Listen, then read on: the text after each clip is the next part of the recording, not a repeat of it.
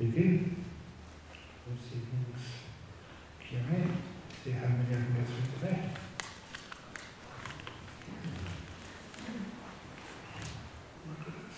Uh, one uh, couple of questions. Here we go. Uh, during the sutta class today, Monday, if I haven't misunderstood or misheard you, uh, Bhante, you said something along the lines that Vinaya Lokya Bijadamanasa equated to having restrained the five hindrances. Could you please elaborate how the two words Abhija Dhammanasa could point to all the five hindrances? Okay, the two words are Lokya Abhija, that's the synonym for Kamachanda, and Vyapada, or this particular one, the second hindrance. Uh, this, if you look at the commentary to the Mahasatipatthana Sutta and also the Satipatthana Sutta of the Middle Length Sayings of Majjhima you see that this is something which is explained, I think in the first place in the, it was in the uh, Magga, that where, where you have the two main um, leaders of a group, the first of a group, everything else in that group is implied. You know, it, you might sort of say, ah, I don't what's a nice group of people. You say, ah, what's the nice group of six other people? Say this, the, um, the, the six senses. Instead you just say, oh, hearing and, so seeing and hearing, etc. The first two of a group, uh, when mentioned, they always suppose in Pali to refer to the whole group. So that you will see in the in a commentary to the Satipatthana Mahasatipatthana Sutta. Uh, I think that to get access to that, if you look at Venerable Bodhi's uh, Mahasatipatthana Sutta, he also translates a commentary there, and there you'll actually see it for those who don't know Pali. It's uh, first order group in Pali, it's idiomatic, the others are intended to be included. If we assume the meaning of the fourth focus of mindfulness to mean having restrained the five hindrances, you abide aware of mind objects, wouldn't that lead to problematic interpretation due to the following reason? Once if the mind objects, according to Mahasatipatthana Sutta, is the five mental hindrances. So if we take the meaning of the fourth focus of mindfulness to mean having restrained the five hindrances, uh, that would mean we can't include the five hindrances again under mental objects that have been already suppressed.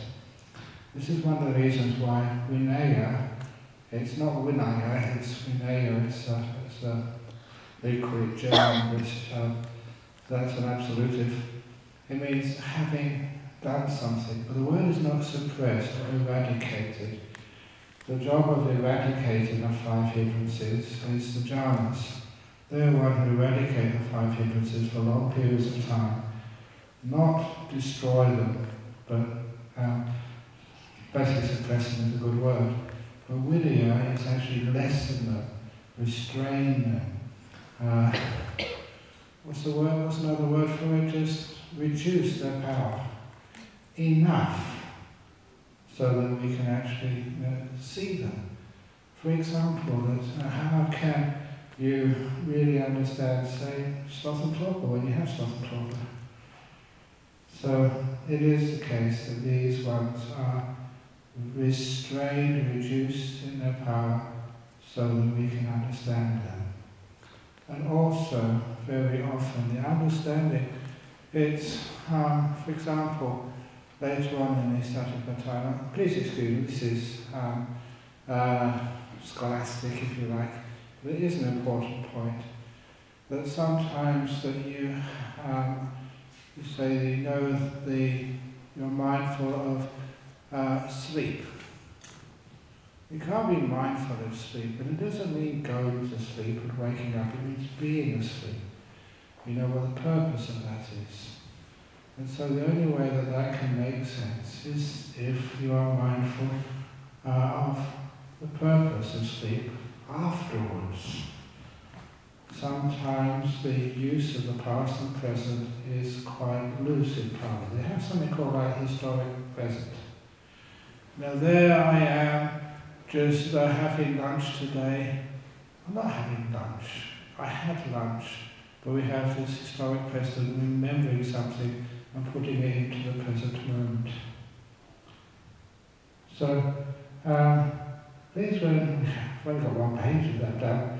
When I come to that tomorrow and on the next day, I will emphasize that and point it out to you. But it is, these are restraining the five hindrances. That's why we have uh, the sense restraint. We have the, as part of the higher practice of virtue, in order that we can actually see things more clearly. The five hindrances are stated to be that, that thing which weakens wisdom, which hinders stillness. So hopefully that's an important point, thank you for paying attention. But it does mean those hindrances aren't totally eradicated, but are weakened enormously, enough so that you can practice mindfulness and not be have your uh, wisdom distorted. What is the Buddhist view on death in the following circumstances? Assisted suicide, as in Switzerland, keeping people alive when they are and have been for some time unable to swallow food or drink by using tube feeding, and treating a pneumonia with an antibiotic in an elderly person with end-stage dementia. Uh, you probably have heard me say in other talks that the purpose of a carer, a doctor, a psychologist, a psychiatrist, whatever, anyone in those type of professions, is not to cure, but to care. And if we take curing, keeping people alive, as the main purpose, we get into some very, very intrusive and uncomfortable sort of end-of-life situations. Uh, I got this from a, a Tibetan nun, and I did this um, little exercise myself when I was in Hong Kong. I had like a workshop situation, and I divided the people who were mostly like nurses, counselors, a couple of doctors as well, into two groups. And just pair off A and B. And then the exercise was that when I rang the gong, those who had assigned A2 would act out as best they possibly could, having a heart attack, make it dramatic, fall into the floor, and you know, when I was, just talking to each other, and I rang the gong, it wasn't ringing the gong. And oh, oh, and they fall onto the floor because they were in that profession. They'd seen people having heart attacks before, so they knew what they were acting out. And the other one was supposed to be the first responder. And so it went something like some people weren't really knew what to do. Others were sort of saying, keep looking at me, keep your eyes on, be with me, keep with me, help is coming, it's going to be okay. And then we had feedback afterwards. It was only play acting. For the person who was enjoying the heart attack, playing, role playing, how did it feel? And he said it was so intrusive. It was so uh, unacceptable. Dying is a very private moment. Have all these people trying to keep you alive at all costs when you just want some space to die. And that was you know, only sort of summary. Then we reversed the roles. And then when I rang the bell, and the other person began to have a heart attack, then the first responder was more saying, oh, it's okay, just let go, be peaceful, remember your good karma. Keeping them alive was not the priority It's letting them find some peace, some stillness, some happiness, some joy, however that was, that became more important. And what it did, it did, this was no, you know, the, uh, in a hospital in Hong Kong. What they did, it just emphasizes that we have a priority now in our culture, keeping people alive at all costs, being afraid of death. Because one of those reasons is because we think this is the only life we have. And so got to make it as long as possible. We've only got one chance. But you've got another life afterwards, another life, another life. Oh, it's not so important. As one of the great uh, philosophers from Liverpool used to say, this was not um, uh, John Lennon, this was Bill Shankly, who was the manager of Liverpool Football Club, who when asked why is it that some people think that football, soccer, is a matter of life and death. And he said, no, they're wrong. Soccer is not a matter of life and death. It's much more important than that.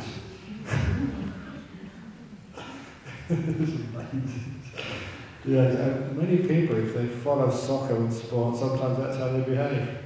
Much more important than life and death. But because we are trying to keep people alive at all costs, we have problems. Eh?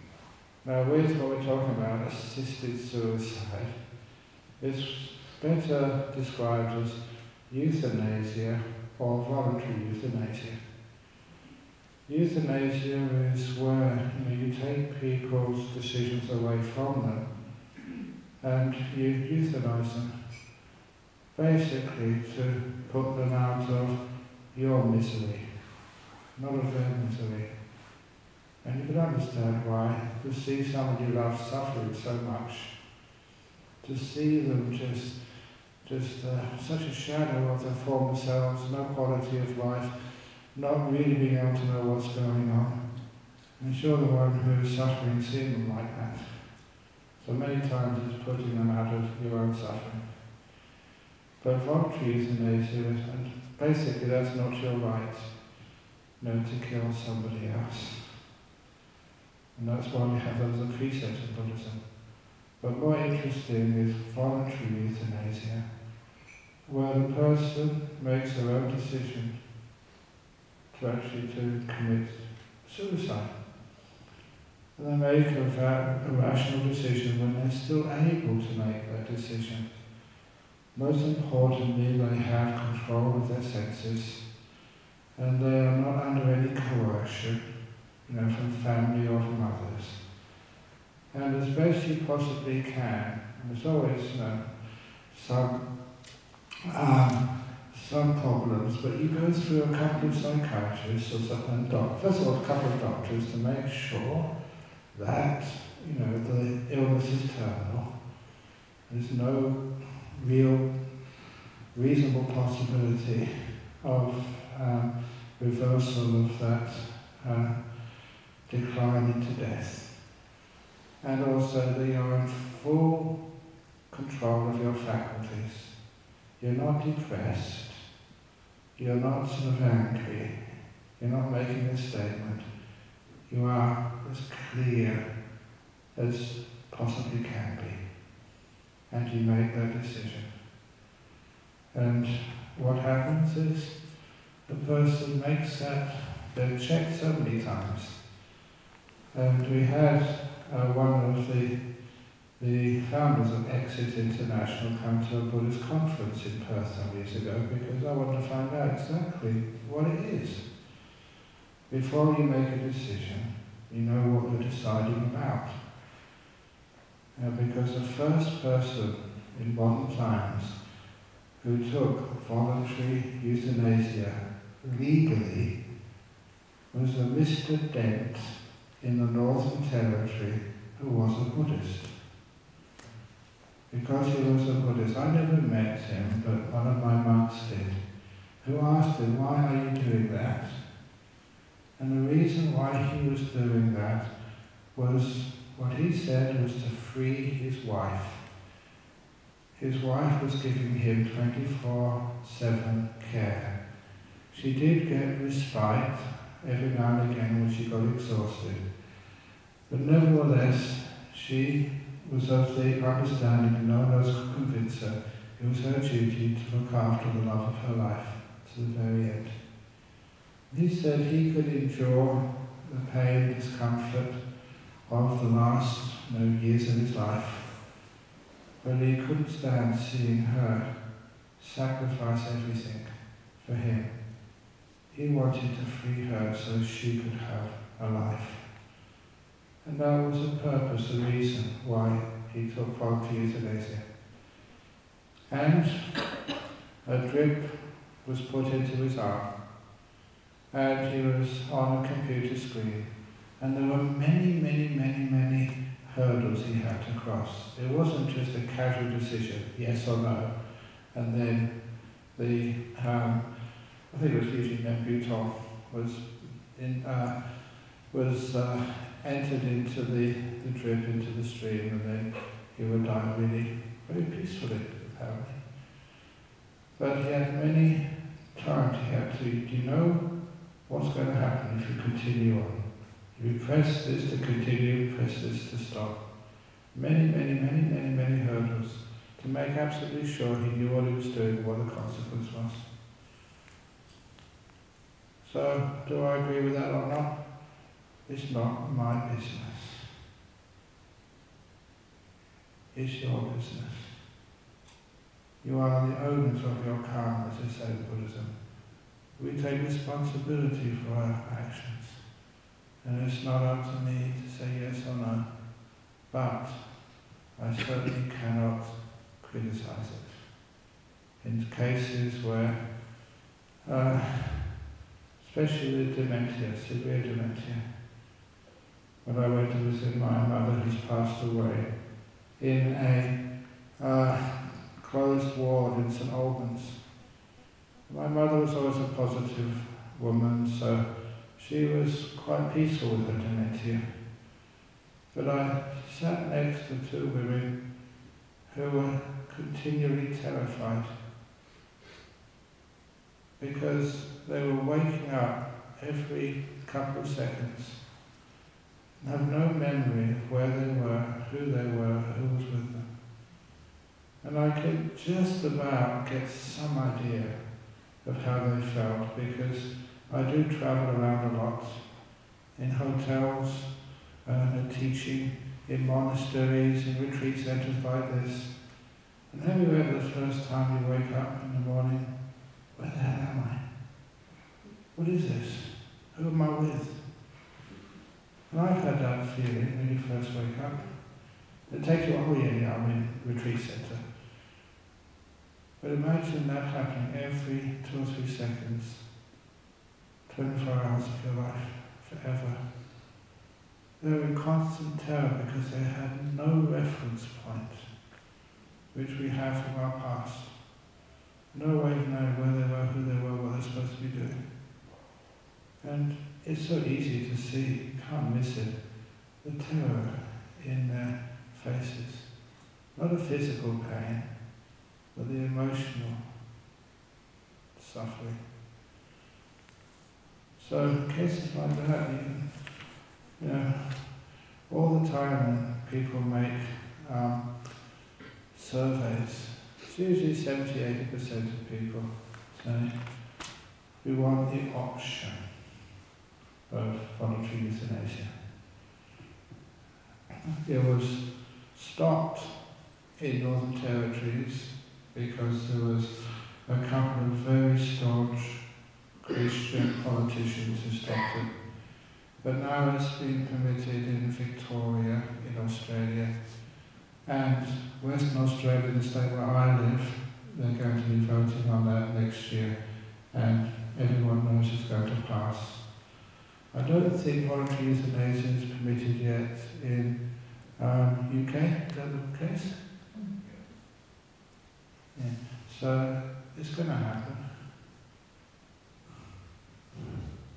What do you think? When it comes to Buddhism and your precepts, if you look very carefully, and I had this argument with Venerable Dhamma Vihari, who was a very interesting man.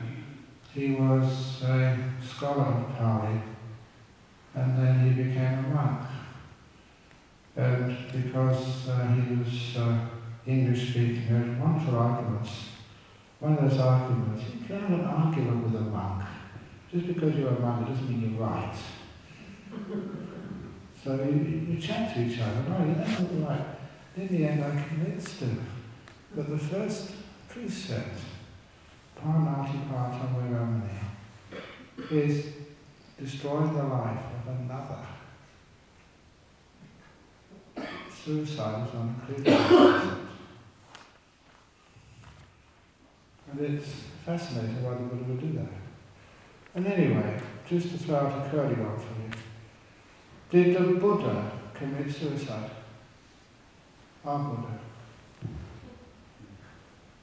You say, he can't do that. No, he can't commit suicide. According to the story, that he ate a pork curry at the very end of his life. Surely he would have known with his powers that that was going to kill him. He did that willingly. And anyway, three months before he passed away, he told people, I'm going to die in three months. He willingly let go of his life. Isn't that the definition of suicide? Willingly creating the situation and causes where your life ends. Ananda, his close attendant, he was being chased by two, two kings or leaders of areas because they both wanted his ashes. Ashes and relics are big business. If you don't believe me, just if you have time, go look at the cathedral in Norwich. The cathedral in One of the reasons why Norwich became a big city. I think oh, I've forgotten his name, was St. Julian of Norwich or something? But anyway, there was this little priest from Norwich, it was a small little country town. He went on pilgrimages about six or seven centuries ago into Europe where one of these saints uh, in a cathedral, they would display his body in an open casket once a year so that the pilgrims could kiss his deceased body for good luck, either with diseases, illnesses, or business or whatever. So it was a gross thing to do. I'm not sure if I would ever just kiss a body which has been dead for 50 years. but that's what uh, people would do to good luck. And so this priest from Norwich, he travelled all the way to some place in Europe, I forget where, but he did much more than kiss. He bit off this saint's nose. Kept it in his mouth because that's the only way he could smuggle it through the equivalent of customs. and he brought it all the way back here to Norwich. So that Norwich had a part of this saint's body, his nose. and they put it on display and so many pilgrims came from all over England and many other places, which meant they needed hotels, food, looking after their horses, and that was the start of Norwich becoming economically viable. if you have time, check that out in the cathedral up in Norwich. So Ananda is similar, people love relics. I know it's stupid, but for those of you who wonder about Buddhism, the Buddha said, be an heir to my, don't be an heir to my material things, be an heir to my Dhamma, my teachings. So the relics of the Buddha Please excuse me if you get upset. The relics of the Buddha are his teachings, not bones. But anyway, even Ananda, he was uh, getting old, about to die, and two people wanted his relics. Two countries, principalities in India. So he got to the boundary river between the two principalities. And then he used his psychic powers, rose up into the air, immolated himself, and then two exactly equal piles of ashes fell on either side of the river, so those two countries wouldn't go to war. Interesting. If any of you know ancient Greek, please have a look. Somewhere in, um, I forget which text it was now, Greek text, in Athens, in the Forum in Athens, there was a Indian person called Samana Chagas. That's the translation which I saw. Samana means a monk who was in Athens and he created a, uh, a big scene, a furor in the forum when he self-immolated. There's only a sentence which I read, but my goodness, hey, that's what happened in India. And, you know, just, you know, killing himself, committing suicide, that was nothing, but to enter the fire element and burn himself. And that would have been something which would have been recorded somewhere and it was there. So interesting, anyway. But that's, isn't that not voluntary euthanasia?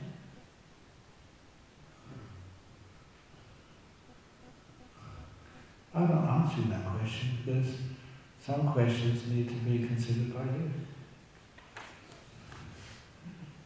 Anyway, affirming the power of metta, I used your stroking method on the doorstop near the canteen. It wouldn't stay down, but after a stroke it worked fine.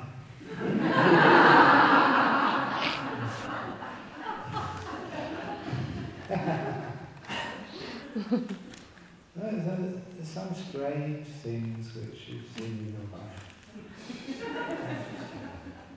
Getting things to work.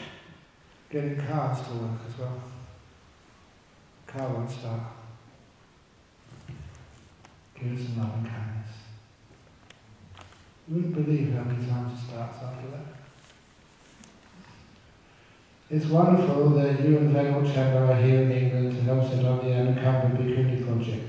Is it really true that Venerable Chandra is the only Bhikkhuni in the UK, the only English Bhikkhuni currently in the UK? There's English Bhikkhunis over in uh, uh, Aloka Vihara in California? There's a Welsh Bhikkhuni. Welsh And there is an English Bhikkhuni who used to be there. Okay, And that's it. Okay. So, it's true. This is shocking. He can say a bit more about this. Thank you, Sada. It's, they're not there. There's lots of uh, women who are attempting uh, to uh, become Theravada bhikkhunis, but you know, the bhikkhuni ordination was not allowed for them, so they went overseas instead. But it's, I was personally responsible for some of that furor nine years ago because I decided to give bhikkhuni ordination to four bhikkhunis who were over in Perth at the time. They asked, can we ordain? So well, why not? So I organised a bhikkhuni ordination for them to start it off. But they weren't allowed to do that here in the UK. So many of them just left. But the bhikkhunis, fully ordained Buddhist nuns. But this is personal, I keep on repeating this, but it's one of the reasons why I get involved even now, was that somebody came up to me, I forget who they were, maybe a year or two years afterwards, and I think this was in the, um, the London Buddhist Society in Eccleston Square. And they said, England is dark for women who want to become fully ordained nuns. And they said something like that. And of course, that really hit me hard. Sometimes people say things very short, but with such pain, you think, I can't permit that to continue. One of the other things which somebody said to me, and this was even longer ago, this was in Perth, Australia. I'd given a talk, you know, on religious harmony and stuff. And this gentleman came up, he announced himself to me, he was maybe in his 60s. He said, I'm one of the leaders of the gay community here in Perth. Religion has been so cruel to our community. And then he walked away. And that word so cruel. Oh, why? But instead of just saying, well, it's terrible, it's awful, and just walking away, myself, I said, let's do something about this. So, whatever opportunity you have, you take that opportunity to, to address some of the people in our world who are really, really uh, giving a hard time for no reason whatsoever. No, no, no reasonable reason. That's a reason, isn't it? So anyway, so with the beginnings, that's why I don't have to do this. Come to England and teach all the time. I'm getting old, I should be retiring, but it's unfinished business, so I'll make it happen.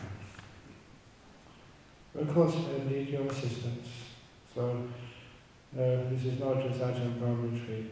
Please check in with uh, Venerable Chandra, see how you can help. Because that'd be really monastery. We have one in Perth, brilliant. Why not here? Really, that's coming. Sometimes I find myself thinking unwholesome thoughts about people who are difficult, uh, seemingly unkind, rude, seemingly unkind. How does one deal with this? People are difficult, rude, unkind. There's a reason for their being unkind.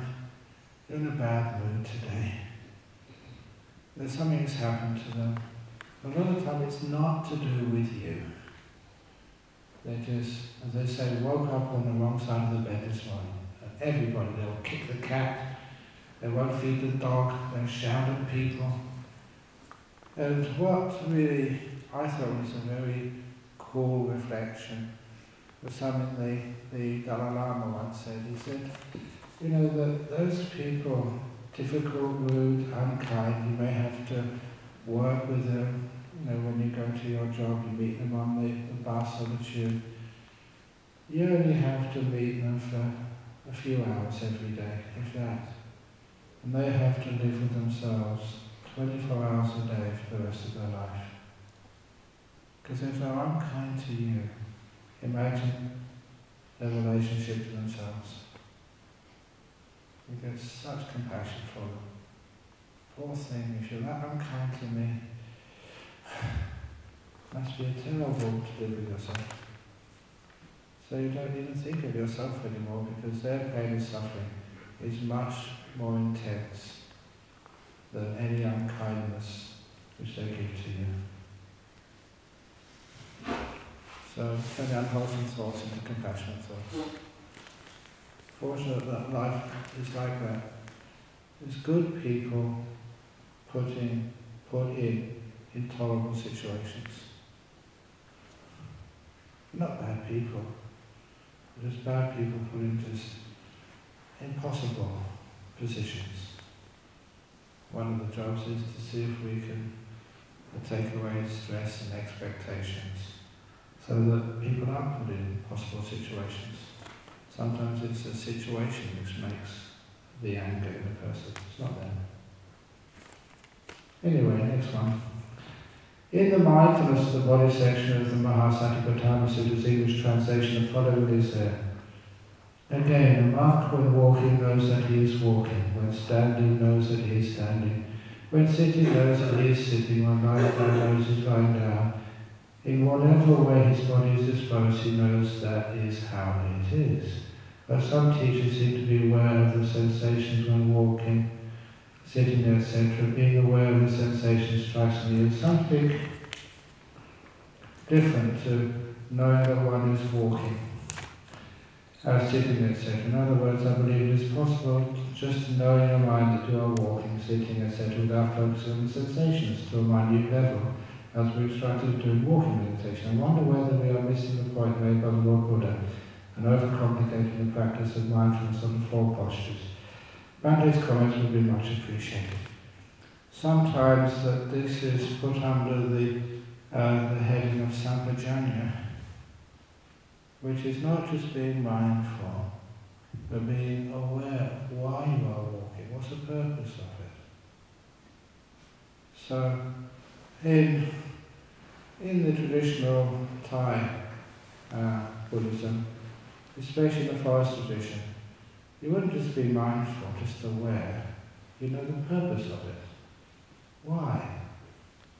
And the example is, um, it's a bit cheeky, but it has a point to it. Once there was a very wealthy woman and she was going to the temple one evening to listen to a nice Dharma talk.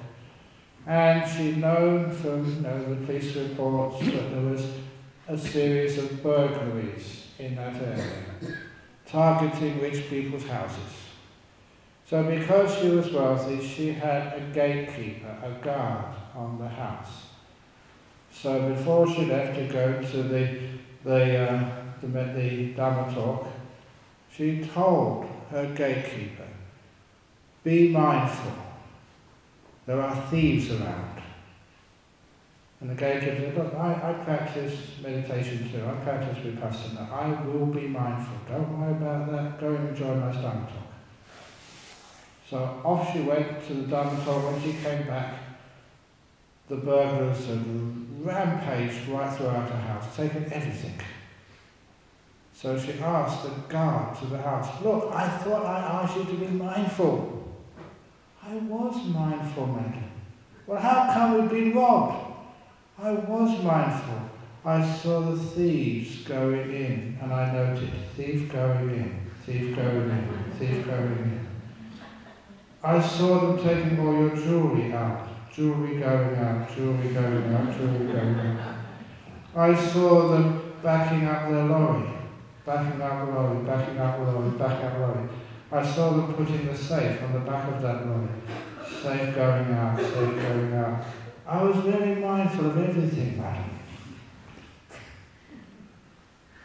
That is not enough, just being aware of walking, of sitting, of lying down. Why are you doing that? What's the purpose of it? It's the mindfulness along with wisdom. Otherwise, you'll end up just like that gatekeeper, getting the sack of much.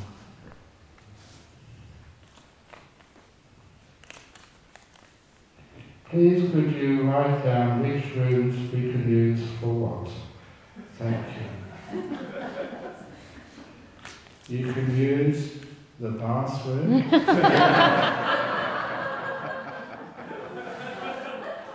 for letting go.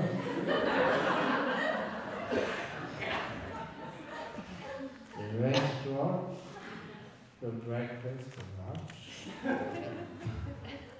I think that's shows up anyway. I think most There is of a sign on the rooms. There's a It's, sign it, on the it's room. quite easy to find the rooms. Okay, Yeah.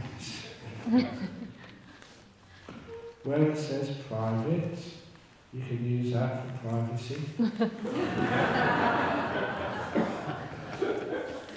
when you see staff only, that's when you can get a stick, a staff, to be able to walk meditation without falling over. okay. Does one have to have done certain right or correct things in previous lives in order to have any chance of achieving enlightenment in this one? And is it fact that I'm here and interested in seeing the evidence that I did? Well, give yourself the benefit of the doubt. You're here, human being is supposed to be a very, very, very good birth, being a human being. Sometimes I must have been born in England, that may be something you did wrong in your previous life.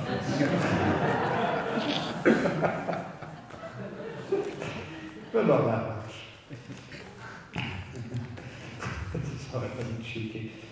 But the point is, we don't know what we've done in our previous life unless you do get deep meditation, get some past lives coming up. But give yourself benefit of the doubt, you don't know sort of how far you can go. So give it a try. With walking meditation, when I was very aware of my feet legs, I started to notice that the floor had disappeared. Ooh. And something, vision switched off. When noticing the floor reappearing, I would then notice my feet had vanished. Both floor and feet were absent when I was aware of the sound of the heating in the room. This pattern continued. Any comments? Yeah, fine. Weird stuff. If it's weird stuff, unusual stuff, don't be scared. This is great. It gives you something to actually to contemplate, because otherwise you've got another how many more days to go? It can be really boring.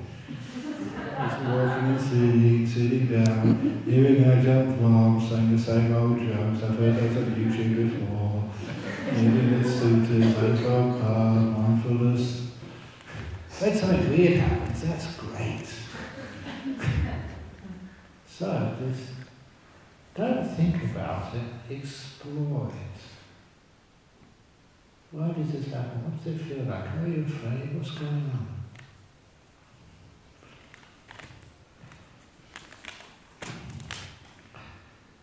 Where do thoughts arise from? What causes them? It is discontent. They arise from within you. They don't come from outside.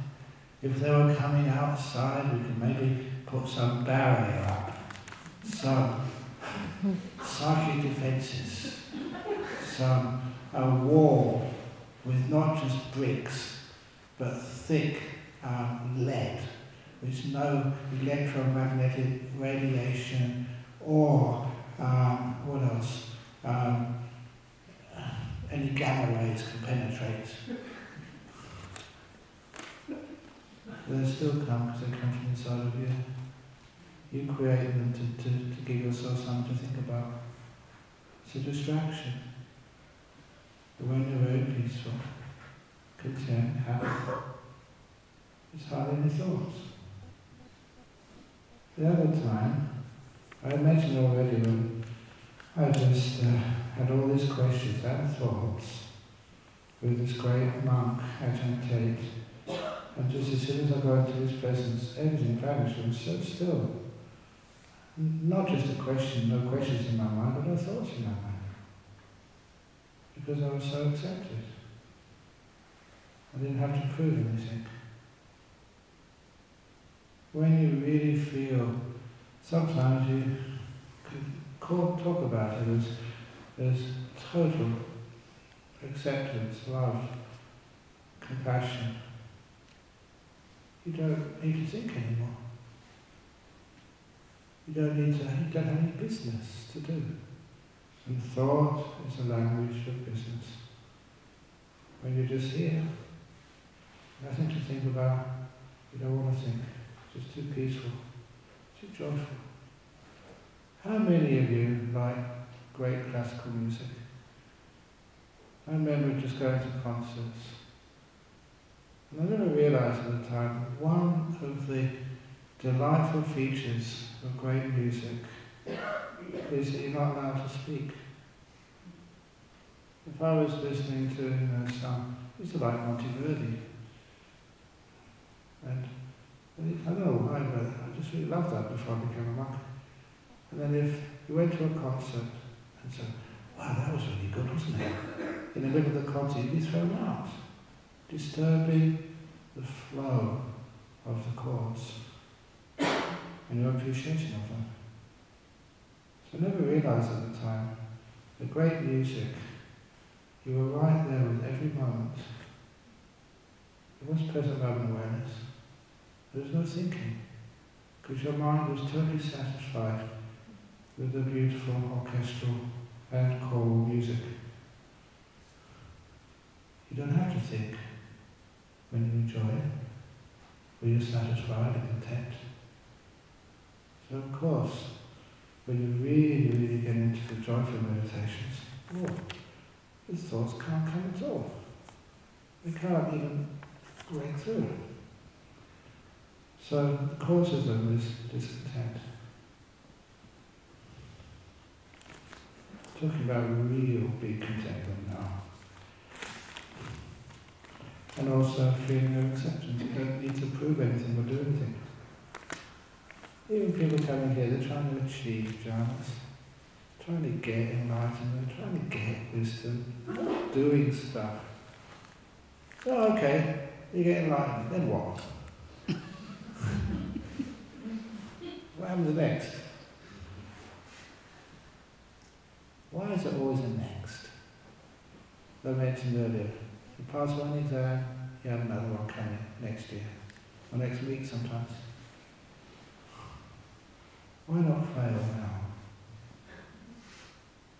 Be a loser. So you've got nothing to attain for the rest of the retreat. Not aiming for anything.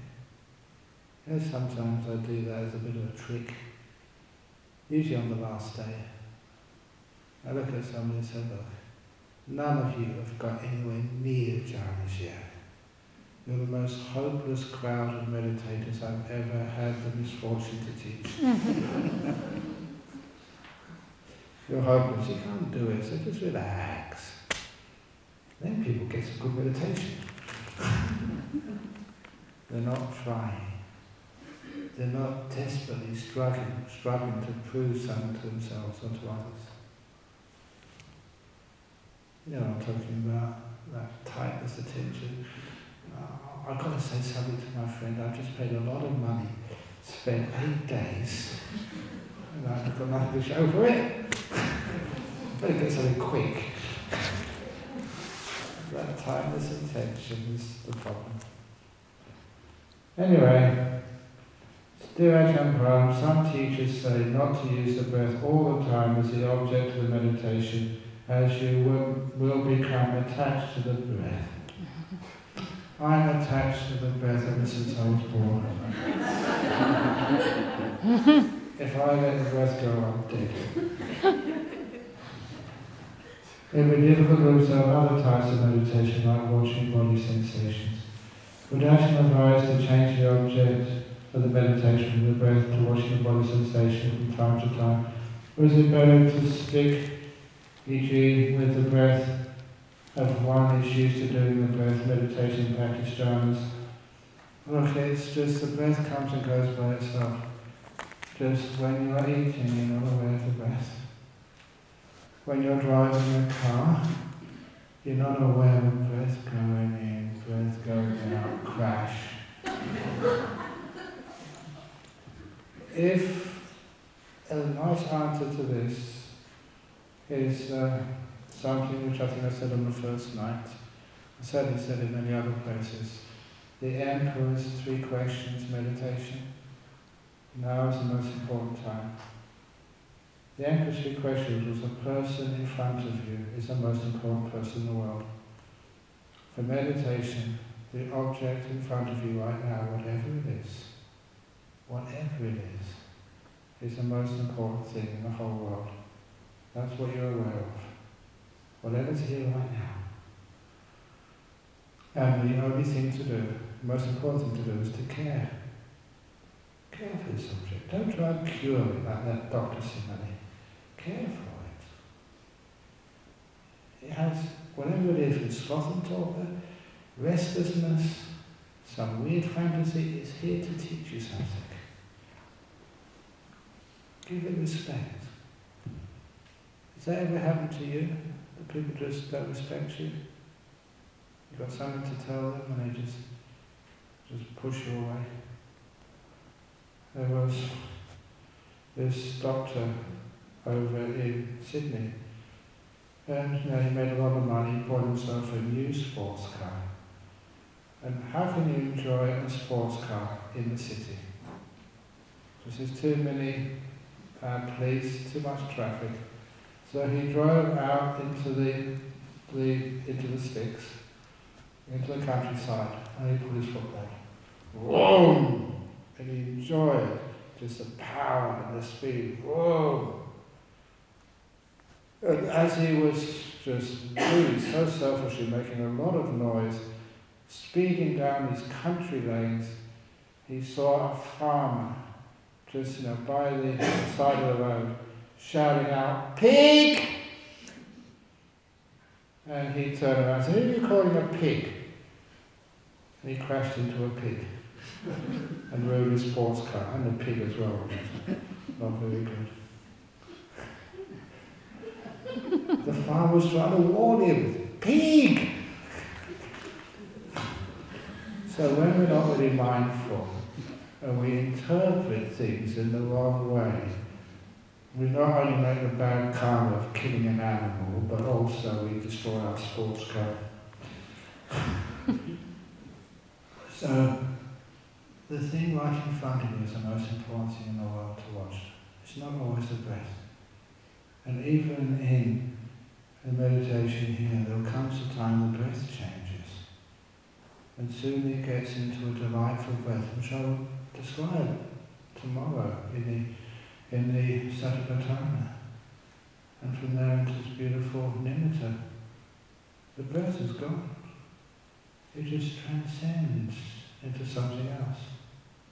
You don't get attached to the breath. The breath transforms, you go inside of it to something more beautiful. So, body sensations? The body sensations are there again to be transcended.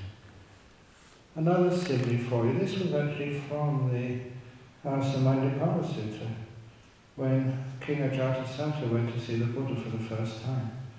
And he went in his chariot, in his vehicle, as far as he could.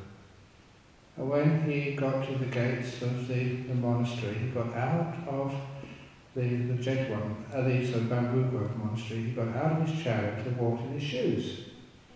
And through the monastery grounds to the hall. And then he got out of his shoes to enter the hall and see the Buddha standing against the pillar. Different things for different times. You can't drive the chariot into the dung hall. And you can't use the shoes, you know, through the muddy, stony paths, you know, to the, the monastery. Just like I came from Australia in a, in a jet an aircraft. But they wouldn't allow me to park the aircraft in the car park of Belsey Bridge uh, retreat centre. I had to get out of the out of the um, the aircraft and get into a car. From a car, it's actually a taxi, a train, train first of all. And from the train into because the train wouldn't stop at Belsey Bridge. There's no station here, let alone train tracks. And then from there a taxi, but the taxi would not come into the hall. I had to get out of the taxi, then walk in shoes, and then from shoes, barefoot into this hall. Different vehicles for different times. So even the breath, you can only use it for a certain time, and then you get into something much more refined to take you deeper into meditation. That's how it works. I'll explain that tomorrow because it comes up in word Thank you, you are simply the best loser. They say the biggest loser, isn't it? That's the word. But anyway, best loser, I'll take that. I have a saying that being a monk, you should be humble. And if you're humble, what's the point of being humble if you can't flaunt it? All that hard work of 44 years being a monk, I'm so humble. I can't hide it so people don't know about it. So if you're humble, flaunt it. I don't like messing around.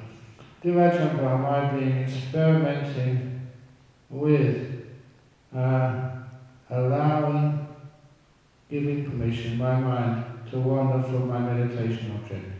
This brought to mind your story of the mother allowing her child to leave home. My mind seems to naturally come home to the object with a greater sense of stability. Have I got the simile correct? Is this a good strategy? Yeah. Sometimes it's a wonderful strategy because you're developing kindness. Another simile for you to understand this. Okay.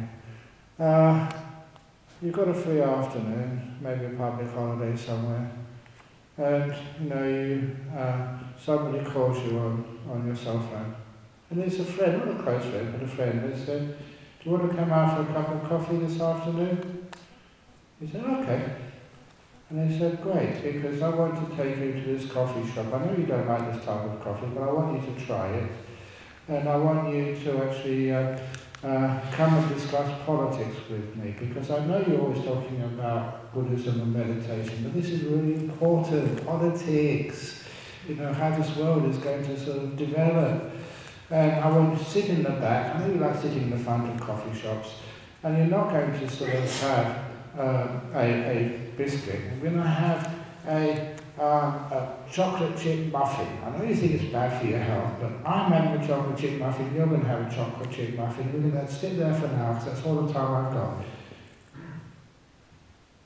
If somebody invited you out for a cup of coffee, what they want, not really concerned what you wanted, to actually to uh, discuss what you want, what they want to talk about, not what you want, to um, eat what they want, not what you want, sit what they want, not what you want, sit for the time they want to sit, not what you want to sit. What would you do? You try very quickly to make up an excuse. Oh, yeah, I've got to go and see the dentist this afternoon. I'm terribly sorry. Maybe some other time. Because no one likes to be with a control freak, telling you what to do, how to do it. So as soon as you're off the, the phone, to keep your precepts and keep your your um, sincerity, your virtue, quickly ring up the dentist and make an appointment that afternoon. as soon as you've made the appointment and get off the line, another phone call comes from a friend, another friend of yours. Say, hey, you free this afternoon? Say, I just made an appointment for the dentist. Oh, that's a shame because I know you have this coffee shop. You've, you're always telling me about some really good, healthy coffee. And he said, the chocolate, no, the, the, the um, what is it, the free-range biscuits. I mean, fair trade or something. Are just really, really delicious. And you always tell me about this meditation and Buddhism, and I've never actually had a chance to really discuss it with you. you know, can you can you talk about it? I know you like sitting out in front. I like being in the back, but I'll say what you want to say. And if they want to talk about what you want to talk about, eat and drink what you like, sit where you like, okay, I'll be there. And you get on the phone, I'm sorry dentist, but I've got another appointment. And then you go and sit with them. And you're supposed to only have an hour. You spend three or four hours sitting there. With someone who's kind and interested. Now the meaning of that simile is sometimes you tell your mind, okay, we're going to go and to the hall. I know you like sitting elsewhere in these other rooms. You're going to sit in the hall. You are going to watch the breath. I know you like watching other objects, but today you're going to watch what I want you to watch, the, the breath. And you're going to do it for one hour, not two hours or half an hour. You're going to sit there for one hour because that's what I want you to do. You're not going to sit in the back, you're going to sit in the front because that's where I like sitting. And sometimes that's what you do to your mind. Okay, right, this is it. We're going to do an hour's meditation, okay? An hour, mind. You hear that? An hour. You're not going to wander off anywhere. I you're wandering off here, wandering off there, contemplating all sorts of stuff. You are going to watch the breath. The breath. Got it? And what does your mind do? It makes another appointment somewhere. anywhere to get away from you. I think you get the message. your mind wanders off to get away from you, to escape from you. You're a control freak. Telling your breath and your mind what to do and how to do it. That is not the way to meditate. That is why the mind wanders. But my mind used to wander off. Instead of suppressing it, using force, why? Why can't we just sit together and watch the breath? Blind. And soon explored it was because my mind was afraid of me. It had traumatized by me. Sometimes I would sit there and Adnan charged me, you really got to watch the breath, okay? Watch it. Ah. And traumatized by the force which I used on my mind. So my mind never trusted me. So whoever got that question, you're beginning to establish trust with your mind and you. In other words, you can hang out together. Why just wander off when you're with a good friend? So you're doing.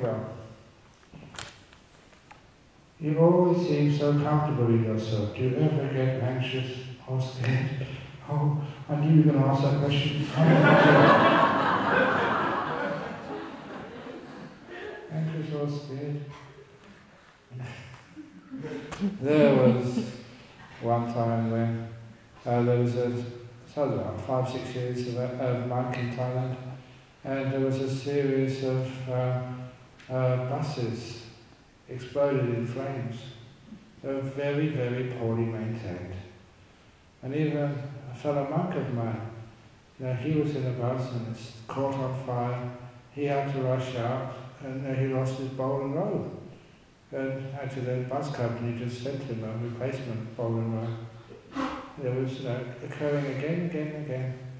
And I was in a bus, uh, sitting. They always put the monks up the front.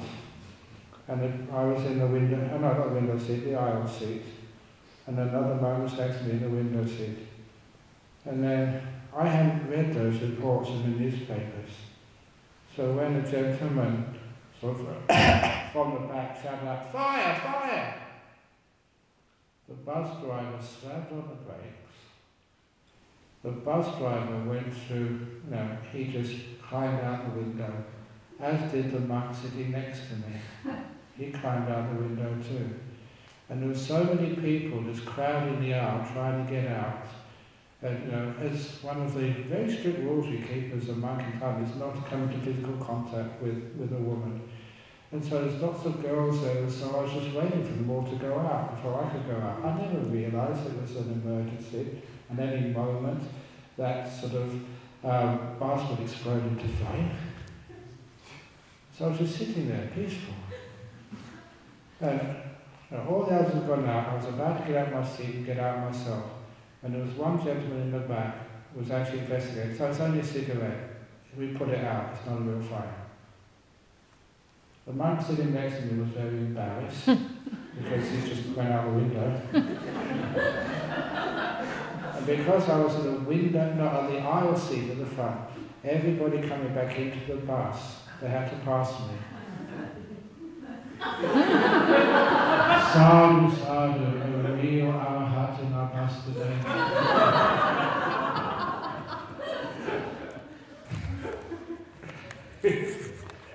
It wasn't that I was an it was I was stupid, I didn't know what was going on. but I took it anyway. So, why are you being scared or anxious? As far as the Gita is concerned, the anxious, why are you anxious? Whatever happens, happens.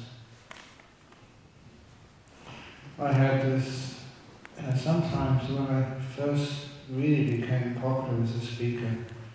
It was weird.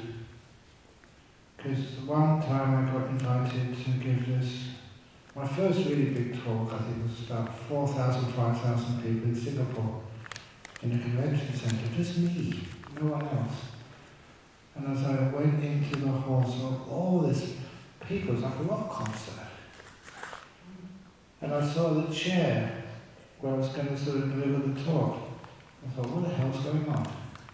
How did I get myself into this? That's my feeling. And I thought, this is dangerous stuff. Really, really scary territory in the sense that, see, many, many people, when they get such fame, fortune, adulation, they lose it. Then I thought, hang on, no, it's not me. It's all the teachings which I got. was no from Ajahn Chah, the other teachers I knew. I just being a vehicle for them. You have the idea of non-self. As soon as I got that perception, nothing to do with me. I don't own my teachings. Therefore, I'm not afraid of them. So I could sit there and have fun, with no anxiety, not worrying if people thought it was good. They thought it was good, what a wonderful thing to be able to share the Dharma. And if I really stuffed up and made a mess of it, that was even better outcome. And I could go back to Australia and stay in my cave and have a nice peaceful life. Either way I would. That type of positive attitude means that I didn't invest any any sort of um, energy or hopes or fears in being a success. Either way, doesn't matter. That means you don't have any fear.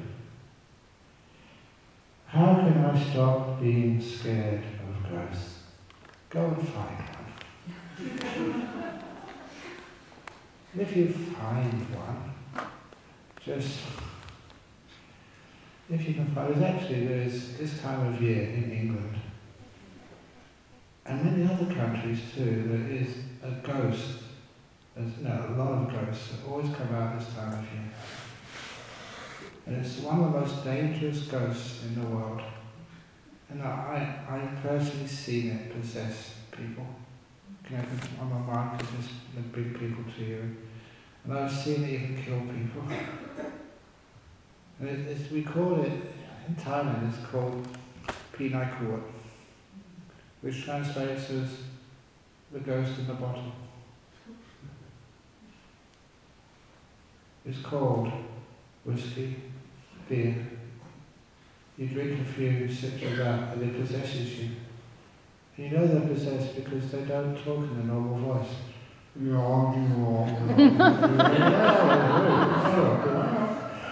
they can't walk in a straight line, they're possessed. And sometimes they drive, drive a car and kills themselves. No, that's why whiskey and gin and vodka, that's why it's called spirits.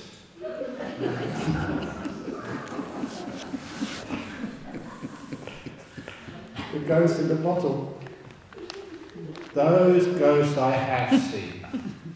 And those are dangerous spirits. Other ghosts are, they're just little cute, poor people just being stuck somewhere. So why are you scared of them? I think it's probably too many movies, too many books. People love to scare themselves. And then, you know, when that scariness sticks, sort of they, get stuck like that. When I told the story of ghosts in the last retreat I gave in Jhana Grove, there's the most uh, unlucky person is this guy, very strong. He went back to his room. He lay down. He had the shutter on the window shut. And then as soon as he lay down, he heard something walking towards window. He was fully awake, not imagining it, heard it walking, stopped at his window. And he was two minds, should I just hide under the blankets or should I open the window? He decided to open the window.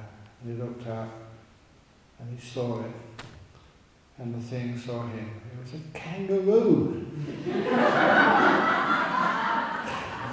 and the kangaroo looked at ah! The kangaroo ran away. The kangaroo was the one which was scared.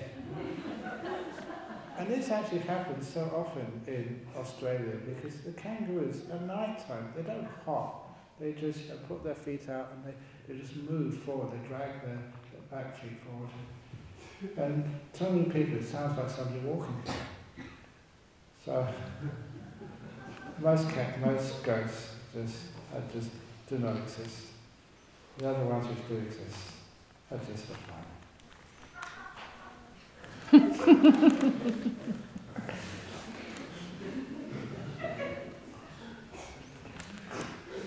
so scared of ghosts. Research, first of all. Go and get real ghost stories, not the fake ones. Beautiful ones. Okay, nice. Some nice, beautiful ghost stories? You might as well.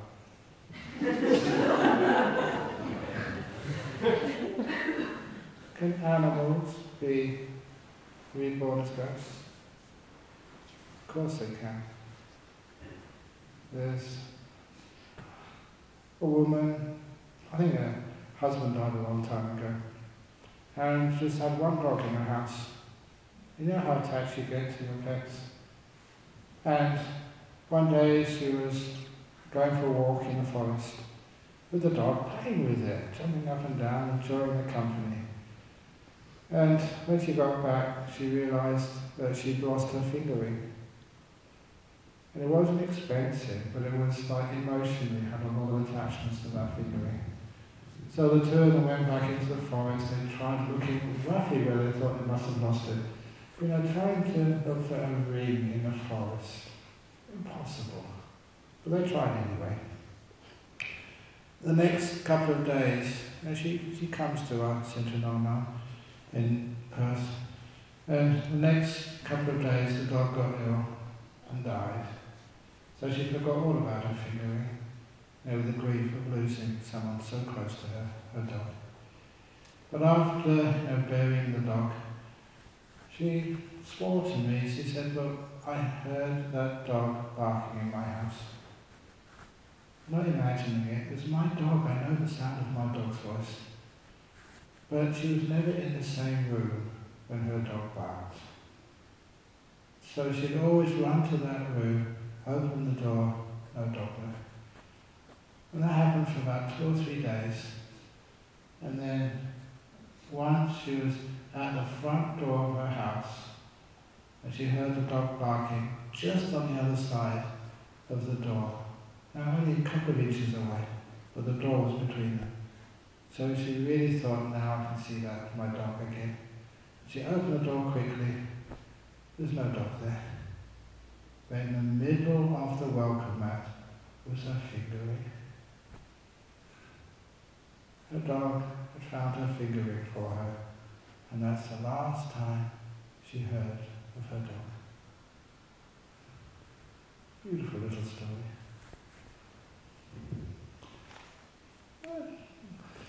Ghosts are really beautiful, good, wonderful people, beings. Just another wonderful little story. There was these two people in one of the old people's homes over in Perth. And there's this old man who lost his wife a long time ago. This uh, lady who lost her husband.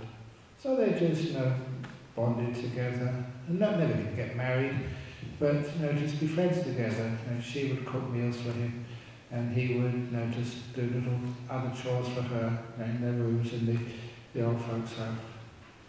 And they became very close friends. Uh, they would talk, and you know, he, he did tell her that he had a sister back in England somewhere, that's the only family he had. So when he suddenly died, the people in the old folks' home know, just wanted to find out, you know, family. They had no record of any sister in England. And she said, oh, he told me he had one here, but they couldn't find any records. So she felt a bit guilty. She'd never asked the name of um, the sister or how to contact her.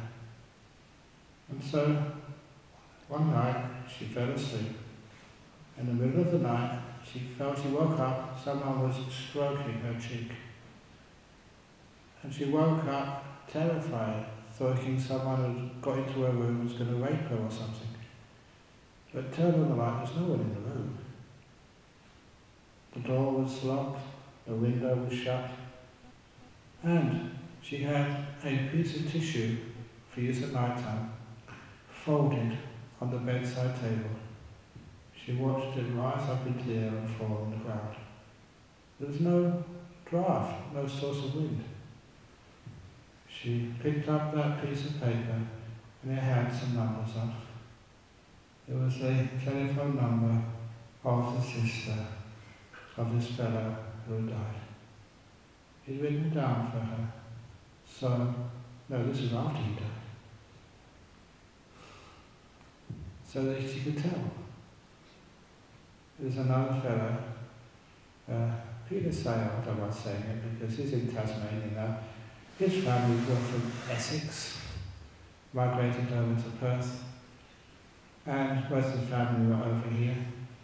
And he said he woke up in the middle of the night, and he lived at home, uh, just uh, just by himself in his house, not far from our centre.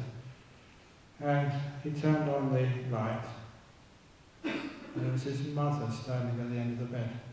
Now this Peter Sale, he is just the last person you'd ever expect, you know, to sort of, you know, be uh, into weird stuff.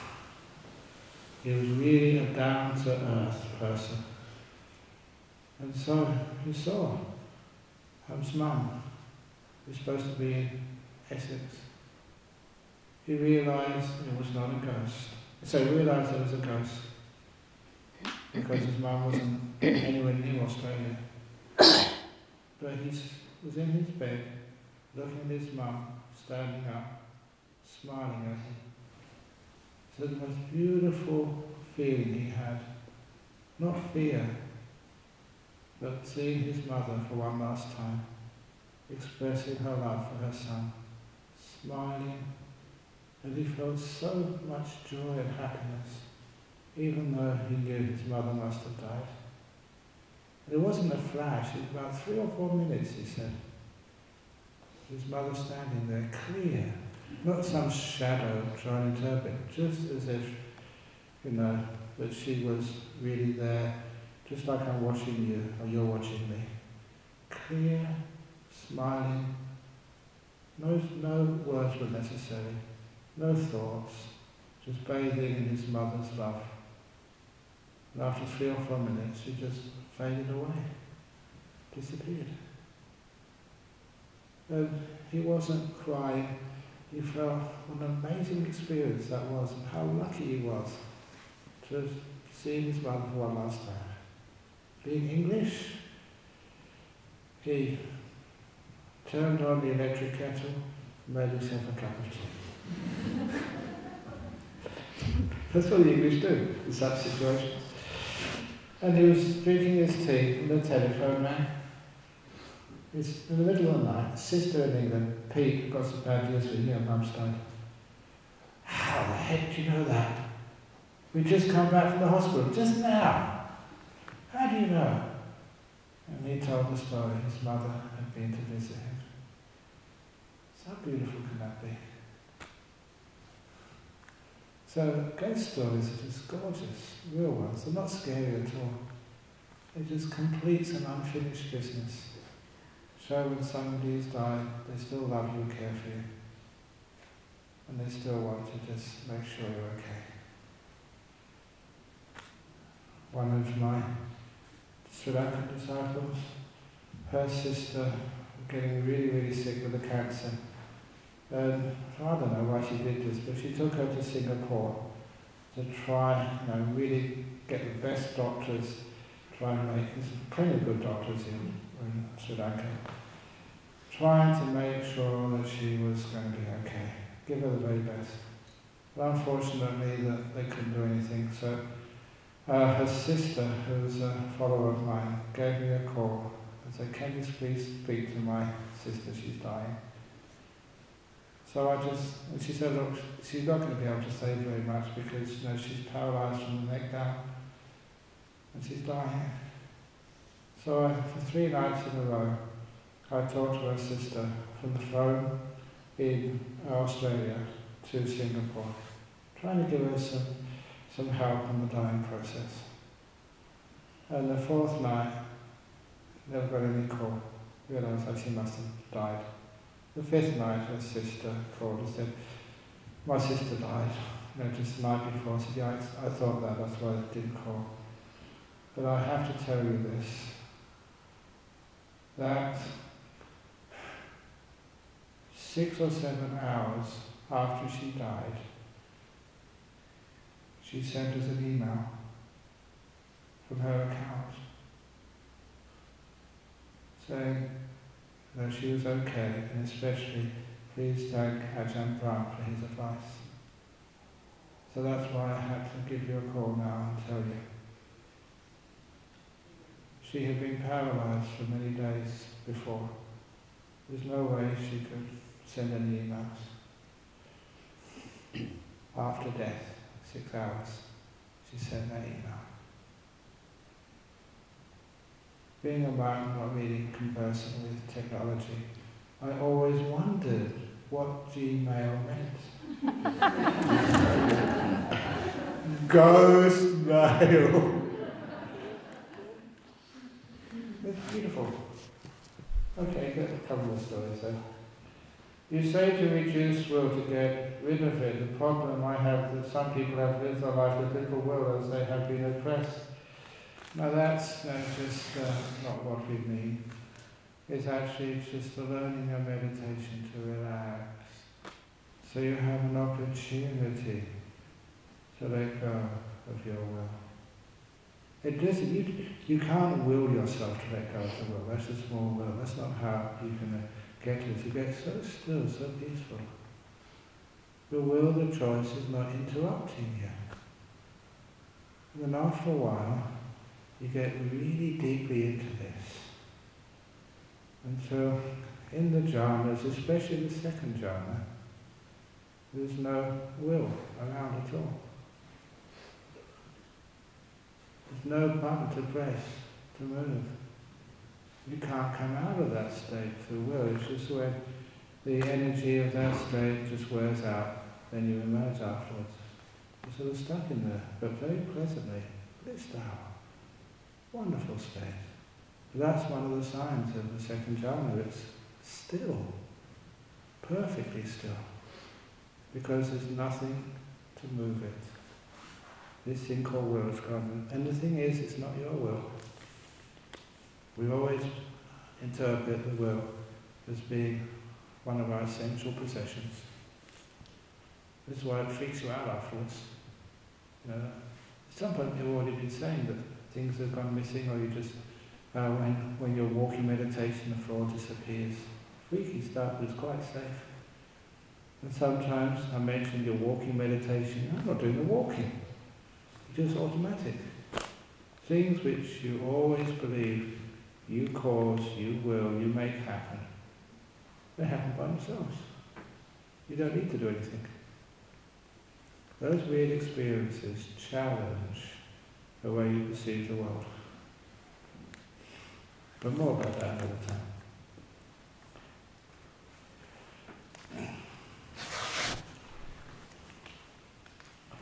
Mm.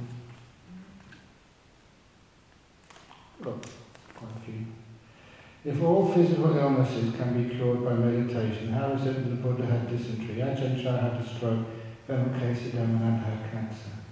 It's not all physical illnesses can be cured by meditation. So there's some physical meditation can alleviate symptoms. And every now and again it can actually do some amazing cures, but not everyone can be cured. Because everyone has to die sooner or later. So the meditation, just letting go, can create a huge amount of physical health and well-being. Not demanding things from others, like medication. So it's not the case that all, but some can. We all know that stress-related illnesses are just huge. And at the very least we know how stress can uh, can cause many, many illnesses. It was the comedian George Burns, I think on his 96th birthday. You know, he used to go out in the evening to nightclubs He's 96, drinking whiskey, smoking big cigars, and eating hamburgers. And he was interviewed and said, look, you eat greasy food, smoke cigarettes or rather big cigars, drink whiskey, stay out at all hours of the night. At your age, aren't you concerned about your lifestyle? Aren't you worried about your health? And he replied, My wife was worried about my health. That's why she died 20 years ago. the worry. Or is it the stuff you put in your mouth? Or the stuff you put in your mind? Do Buddhas class humans as high beings and other beings, and if so, why? Oh, just they class Buddhists or human beings as you know a place where you have suffering and happiness. Enough suffering to keep you on your toes, realizing this you can't really be that relaxed because you don't know what's going to happen next. But enough happiness and comfort that you have some time and freedom to actually contemplate and meditate and ask the questions of why. So it's they call it a very fortunate life that you are a human being. But you do the rounds. Humans, animals, ghosts, devas, all sorts of different beings. So depends. Where are you going to go next? Isn't that what, um, not Google, where do you want to go today? What's that? Google Well- Maps. Not Google Maps or something else. Anyway, so where do you want to go next in life? Where do you want to explore next in your journey through samsara? Do you want to be a ghost? The person who's scared of ghosts? You want to have your next life as a ghost? really interesting. Then you can come and scare me. I said, I said, "No, Get out of here. Mm-hmm. Okay, so I think that's enough questions now, it's nine thirty. Okay, there's still a few to answer, more than a few. I think I've got to about half of them. And what's done is finished. Don't have to finish anything off. Okay. Son, son, son.